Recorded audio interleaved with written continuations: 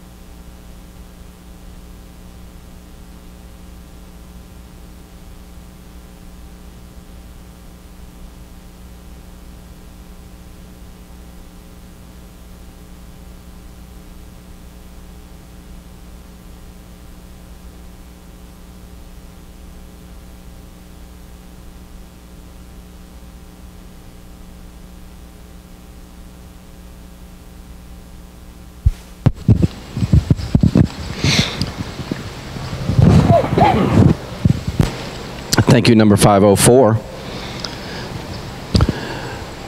Draw number 10, you're up. That's 568. 568, and then we drag.